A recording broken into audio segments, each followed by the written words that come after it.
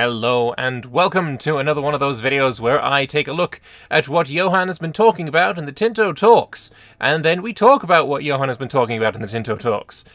Let's talk about it. Let's go. The first one we're going to get to is this one right here. Uh, the question is not so important, but basically here we have three more weeks of purely economical dev diaries after this one, so stay tuned. And I believe the next one is actually going to be about loans. We'll have that at some point in this list. Uh, I've seen it already. Again, I've picked them all out.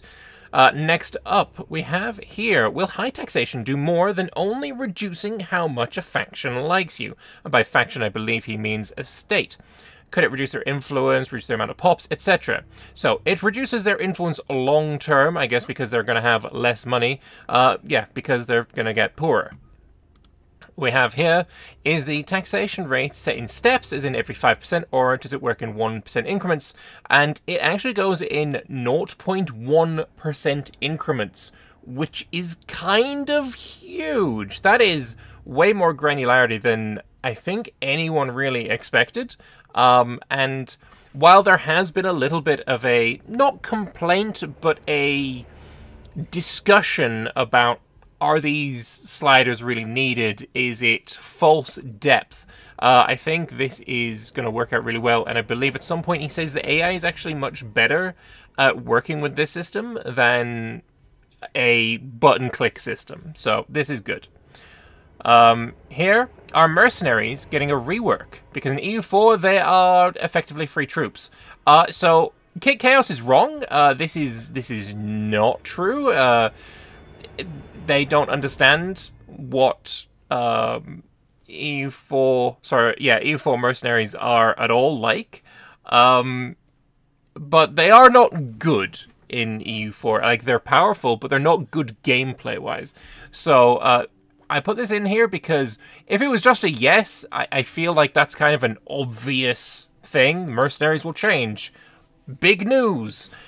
But a hell yes? That's something a bit more powerful. That's something a bit more relevant and uh, a bit more exciting as well. Seeing a change to the mercenary system is something I would very much welcome, so glad to see that. Uh, inflation is increased by minting coins. What reduces it? Not minting has a small reduction, but there are other ways as well. Uh, I guess the other ways we will see at some point in the future. Uh, when we talk about how the economy itself works, next three weeks are more about the economy. Um, and it seems now that you don't get income from any of that, but instead your estates will get all the income from that, and then your income will be based entirely on the estate's taxation, which is super cool and realistic. Uh, and by that, I think he means like provinces and such. But yes, your income is based entirely on taxing estates. Very, very yes. Really excited about the expensive standing army being 200 men. Uh, it seems like how stacks work will be overhauled finally. Uh, no more death stacks. I, I don't know if we're never going to get um, death stacks, but yeah, a thousand men in a unit is no longer the issue. So the question, can you confirm whether the, the estate pays for the levies or does the state do? States do not pay for levies unless you count the lots of pops not contributing to the economy anymore. Basically the imperator system. Um, it is an opportunity cost rather than a cost cost which obviously makes sense as well for a levy system. Does money spent on stability, because you can, obviously you've got a uh, stability slider, I guess, um, go anywhere or does it disappear into the ether? Lots of money goes into the ether when spent, so it's not going to be like when I increase this slider for the amount I'm spending on getting my stability under control, that money's going to the estates or to whatever. That's not the case. Um, that money is just gone. And there's a lot of people, again, with this one that are somewhat complaining about this, uh, thinking that all money should be tracked and go somewhere and be spent and go somewhere else. Uh, and I kind of disagree. I think. Um, MEIOU and Taxes really needs to have something that they can, uh, you know, chew on for their EU5 mod. Uh, you got to throw them a couple of bones, and maybe uh, this abstraction uh, is one of the bones that you could throw them. So, uh, yeah, MEIOU can probably do this. Uh, I think it's fine that EU5 does not. Probably go into it next week, but what happens to taxes on populations that are not part of any estates? Doesn't matter because all pops belong to the estate or they won't have power so they won't have any money. So things like there is no slaves estate, so slaves do not belong to any estate. But that doesn't matter because they won't have any power and they won't have any money, so who cares? It, that's that's it is what it is. Uh, will there be monuments? No. That's just a flat no. I don't know. I am a little. I kind. I kind of like the monuments. I kind of like monuments. I'm not gonna lie. Uh, this one is one of the ones that kind of disappointed me just a little because I do. I like. I like monuments. Um, they're an interesting mechanic, but hey, that might come later on down the line. That it was a DLC in EU4. It could totally come back. Um, but I know there's a lot of people who dislike monuments, so I'm probably going to get a bit of flame for uh, for saying that I like them. Hey, what can I say? Uh, where is the food bought from or sold to? Hopefully, it's not from nowhere and sold to nowhere. So it's from and to the market, which is a system we need to know more about. If there's no food in the market, they can't buy it. Uh, and if you can't trace a safe path back to the market center, there's no food transaction. So what this is really saying to me, other than, you know, more evidence of market being the new trade system, but also a little bit deeper, because obviously we know that a province can migrate into a market if that market is strong enough. Um, it was said in one of the previous uh, Tinto talks. Um, and here we know that food is bought and sold on the market as well. But we don't know if this was just a replacement for the trade node system, which is what I initially thought it was, but if food is being bought and sold on that market, that kind of says something else entirely that uh, we're not too sure about just yet what that is. Uh, so, yeah, it could potentially be a mix of trade node and goods being uh, bought and sold. Uh, maybe like a sphere of influence, but on the map and not country specific, that could be the case. Uh, we will we will find out. And by sphere of influence, I don't mean the Vicky 3 stuff, I mean Vicky 2, obviously. Will the cost of buying and selling food be naturally summed up of your whole country, since it seems to be on a province basis right now? Uh, not sure porting food instantly from Vladivostok to St. Petersburg feels realistic. So food is going to not just magically transport. You know, you can't buy food from a market and have it, you know, it, can't buy food on a market in your, you know, St. Petersburg and then have it magically transport to Vladivostok, which I think is like, you know, on the other side. That's like the furthest to the east. That's like next to China. And St. Petersburg is like next to Finland. So, yeah, these, they're very far away. So they're going to have to, you know, engage in their own markets. So having markets not be entire countries, like having a country with multiple markets, seems to be something that we're going to get. Um, it's not just going to be Russian market, it's going to be the Russian market that's around St. Petersburg, like the Novgorod market, uh, which again can grow and shrink depending on how strong it is. Um, and that's kind of cool. Uh, and then somebody asking about, you know, numbers, but no numbers are final. That's not too interesting. Uh, here, I'm. This is this is going to lead on to something Johan says because there is, you know, there's comments and stuff. So after saying not porting food from Vladivostok to St. Petersburg, uh, but what is the gameplay difference? Is buying more expensive per unit than selling? Uh, yes, and buying income is reduced by lack of control. So buying income of the estates because pops don't have income. I, I it's I don't know. Buying in buying of the province to the province wealth, uh, let's say, is the one buying food. That could be it. Um, will strait tolls be uh, present in the game as diplomatic income and expense, uh, like the sound toll, which constituted up to two thirds of Denmark's state income, is related to trade? But yes, and again, we really need to learn about trade. Is there a reason why selling food is being chosen as a specific provincial source of income and not selling goods in general? Will provincial economy activity be limited to food? Because food is another thingy, which basically makes me think that either goods are a completely separate system. Well, I mean, they are a completely separate system, but they're not going to be used in the same manner as food. They're not going to be traded in the same way. You're not going to have provinces pulling from food from a market.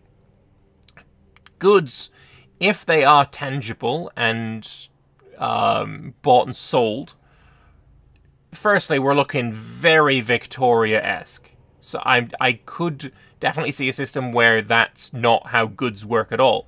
Um, I don't think we're going to be seeing a case where um, Stora Kopparberget in Dalaskogen in Sweden is going to produce, you know, X units of uh, copper, and that copper is going to go to the market for somebody in Lubeck to buy that copper. I don't see that happening. I do think goods will just be something different, something maybe that we can tax. Um, taxing the selling of goods instead of having them goods be tangible and bought and sold and moved around the map because that is I imagine quite computationally intense. Um, but I am not a I'm not a I'm not a coder. I don't I don't know what I'm talking about. Um, uh, I don't know why I had that one twice, but we move on. Um, how will estate taxation be balanced when considering tags that do not have those estates? Are tags that have more estates options just in a better position since they can make more taxes, or will there be something else to counterbalance that? More estates is not more money, it's more ways to split the tax base because 100 influence is the total, right? And the estates are sharing that, including the Crown Estate, are sharing a piece of that 100. Um, so having more estates is just more ways to split the tax base of the population in that province, not more money because it's not additive. It's it's sharing a piece of the pie. Uh, moving on, we have here. Uh, will the game distinguish between crown-owned ventures and private ventures? In E4, trade income was treated as a strange blend of the two. Yes. So, that is a really good question. A really good question that really had no origin, really. It didn't have anything that prompted it. This is just something this guy has come up with, and I'm really glad that he did. And I'm really glad that Johan answered it as well. Uh, what this means is that your estates, your pops, your your provinces, your market will automatically do a bit of trading but also, you as the, the crown, you as the, the state itself, can also do a bit of manual trading for yourself. And the game will distinguish between the two. We won't have a system where uh, all of the autonomy when it comes to trade is taken out of the player's hands or given to the player. That autonomy is is shared. Both will have the ability to do their own trading, and I guess we need to wait until the trade dev diary uh, to figure out what effect that is going to have. Will there be better flags and coat of arms in Project Caesars? One is his nitpicks in E4 is seeing Somalia use the flag of the modern day country Somalia, blah, blah, blah, blah, blah. Uh, they're using a similar system to CK3 and Victoria 3, which has dynamic flags and coats of arms, um, which is really cool. Uh, basically, the system is just different. It's not just an image like in E4. In E4, you have an image of a flag, a PNG image. It's not PNG, I think it's DDS, but whatever. You have this image of a flag. It's in a flag folder. The game pulls from that flags folder, and that's what you are shown. It makes it... This is a bit of a double-edged sword. The system that E4 has is much easier for modders. It's especially weaker modders like myself. I can change a flag in EU4. I kind of can't in Victoria 3, not that I play it, or CK3, not that I'd want to because it's got the whole designer. Um, Imperator also used that system.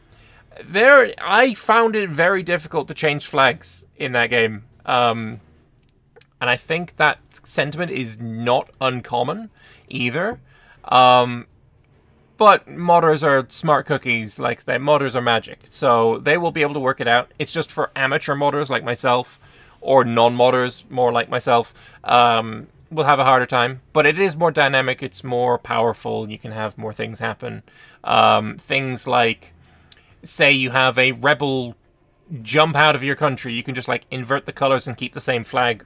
It's very, very simple to do. Uh, so yeah, more powerful, more powerful flag stuff.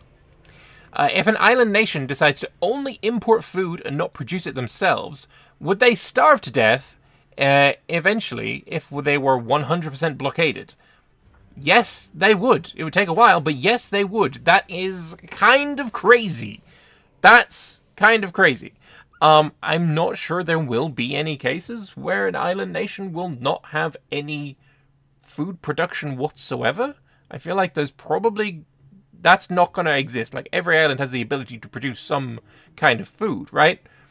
Um, unless there is no base food growth, and it is simply just a case of you know investing into food production that gives you any at all.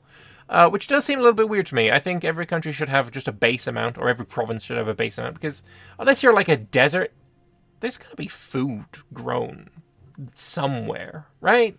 Surely.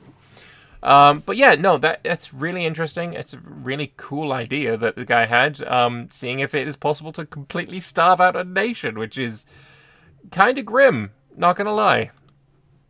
What happens when someone just refuses to surrender in multiplayer and fights a death war to the end? Um, the peace system, maybe it will be the same as E4, because E4 also does have ways to prevent that with the um, the stab hit peace deals. Um, but we don't know anything about warfare. I think this is actually the first thing that has been mentioned on warfare, other than seeing the the levy system um, existing. Uh, but peace system will have ways to attempt to stop people from just fat death warring.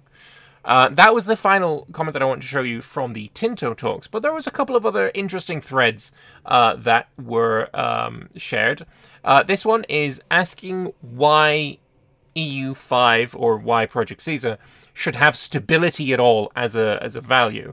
Uh, they thought that the stability system was a little bit too abstract, even though we're going now from minus 100 to plus 100. So we'll see here.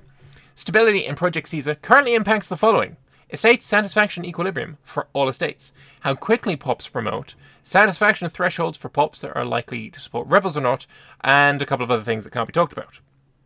Uh, and then Metz here, completely separate comment. By the end of the game, most countries should still have around 50% commoners, uh, and Johan expects him to have far, far more than that. Um, however, the reason this is in is because Metz does not know when the end of the game is. Johan knows the end date, but Metz does not. So, what period, what rough year did the majority of countries move from having a majority of population, you know, not being commoners? Because honestly, having, you know, more than 50% commoners, that's true from the start of the game to probably up until the Industrial Revolution. Although maybe commoners are also the people that are working in the factories. Honestly, this this this could really be. I, the more I think about it, the more I think it's maybe a silly question. The commoners are probably still going to be the majority past 1800, so the end date really could be anywhere in that period. Yeah, silly question. I probably shouldn't have uh, mentioned it. Oh well, moving on. And Right here we have something huge. Back when the uh, Dev Diary talking about the population came out, Johan stated quite emphatically that they were very unlikely to add new pop types, and that decision has not been rescinded. Except maybe it has, because right now, after Metz is asked about estates having subdivisions, promotion mean going from commoner to burgher to clergy to nobility, etc., he said it also from tribesmen to peasants. Slaves technically promote peasants, instant, and when and where slavery is illegal, whatever. But tribesmen were not a part of the original pop discussion. They did not exist. That was not a thing that was spoken about. But now, now maybe it is. Now maybe it is. Now we have a new pop type potentially. This is kind of huge. I feel like this this should have been something that was talked about a bit more.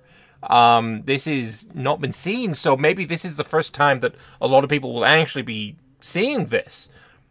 We may, in fact, have another pop type.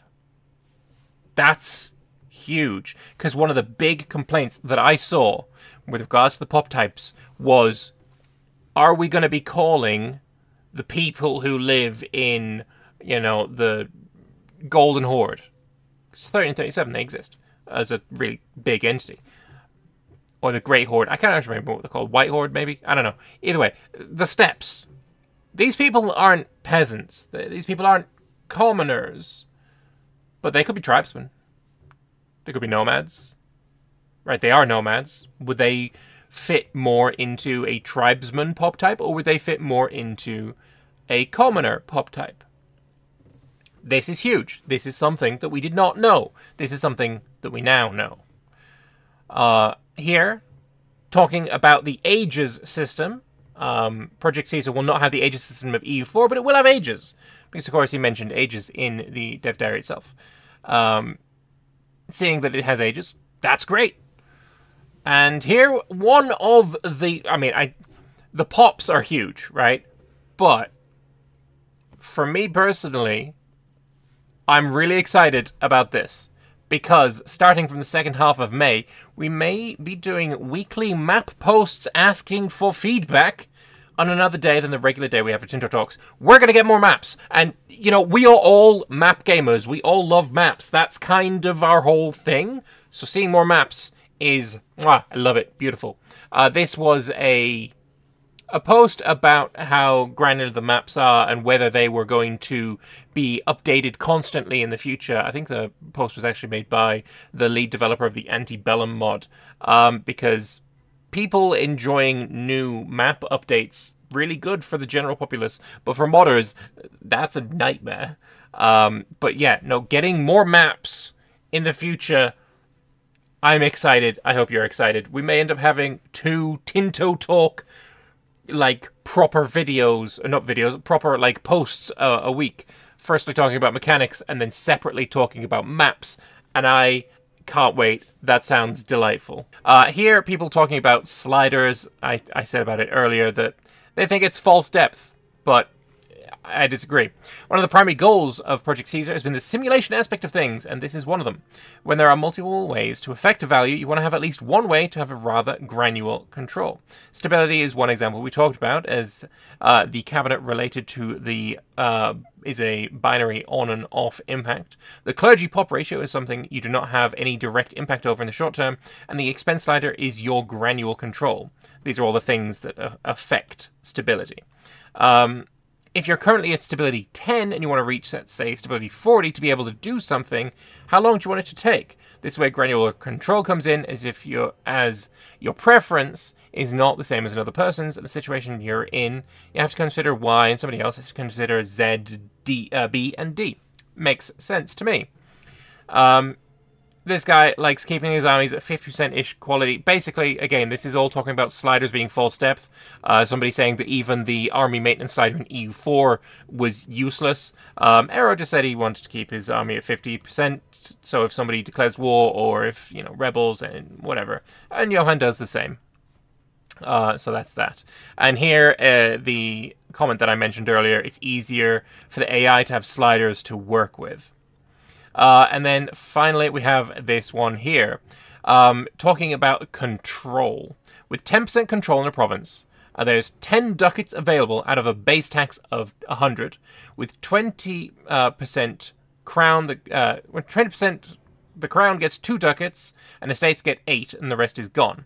Estates aren't against you, uh, increase the control to 30% because now you get 6 ducats and they get 24. Without 100% control, wealth always vanishes, correct. So, yes, it's true that if you if there's 10, 10 ducats, the effective base tax with 10% control and 100 possible tax in a location. However, crown power has no relevance at this level. Let's say the power distribution in that location is 50% nobles, 25% clergy, and 25% commoners. There's no town or city, so he doesn't have to do burghers. The nobles get 5 ducats, which is 50% of the 10% of the 100. Right? There is 10% and 100% possible tax. That's 10 possible taxes. If the nobles have 50%, that's 5%, uh, 5 ducats. With the privileges and laws, we're allowed to tax them at a maximum of 20%, so we can take between 0 and 1 ducat because of that. Clergy gets 25% of the 10 ducats, so 2.5, but we're paying the Catholic, um, as we're playing a Catholic, the max is 0, so they take all the money.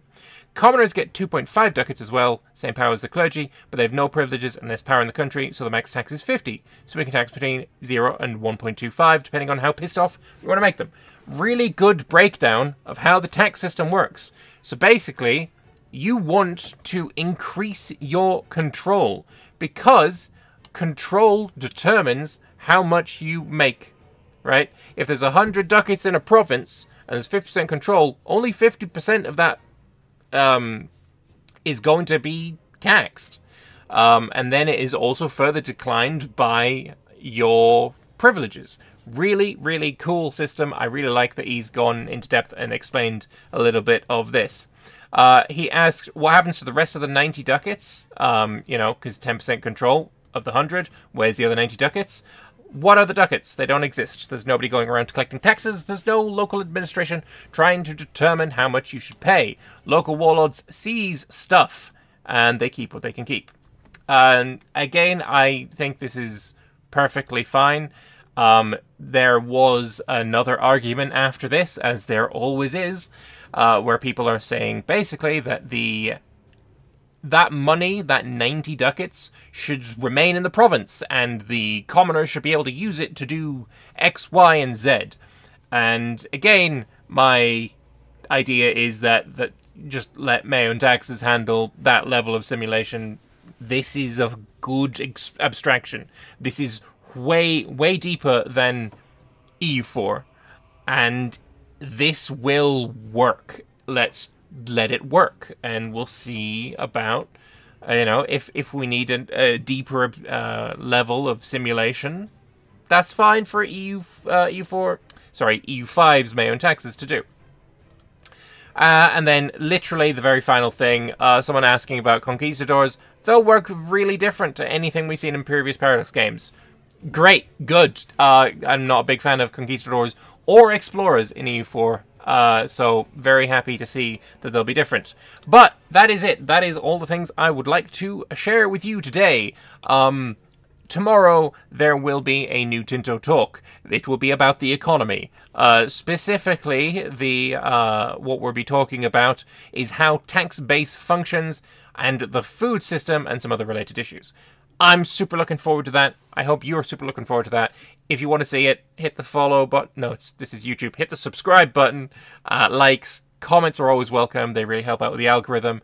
And uh, if you're not subscribed and you want to keep up to date with the Project Caesar EU5ness, um, yeah, that subscribe and and we'll we'll we'll learn all of the stuff together. It'll be a great time.